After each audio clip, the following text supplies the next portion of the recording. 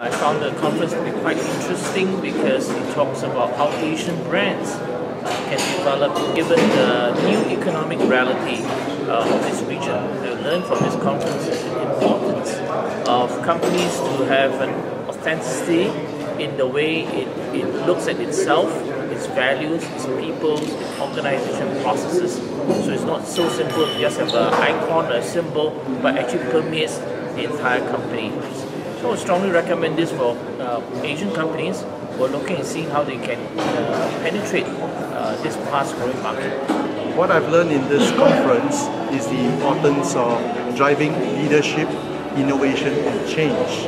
And this is something that is very important to apply in our work environment, to empower the staff, people, as well as the partners that we work with business. I've been invited almost every year to this uh, session, but uh, this is my second time here. I think it's a wonderful session to be uh, exposed to uh, the brand strategies and how people deal, or at least how consultants look at the brand strategies and how it can help companies and so forth.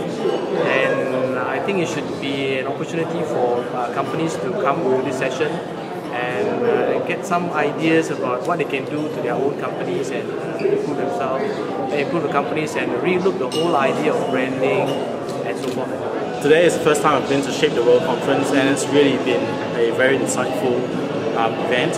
I've learned that uh, when I start up a company, it's the best time to prepare a company with a, with a purpose not just for the company to earn money, but how we can add value to society as well.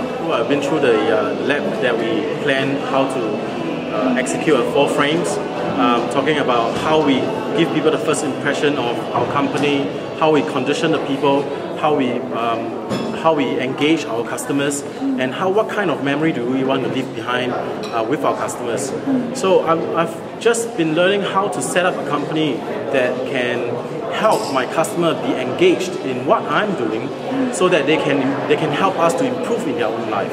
And if you've never been to a World Shape the World conference, I do encourage you to come and I would definitely be encouraging my friends to come as well. So hope to see you next year.